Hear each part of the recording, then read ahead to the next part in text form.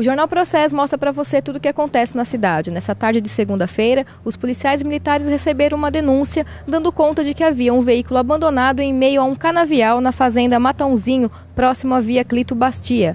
Eles partiram em diligências até o local e localizaram um veículo Voyage na cor prata que seria produto de furto nessa madrugada na cidade de Araraquara.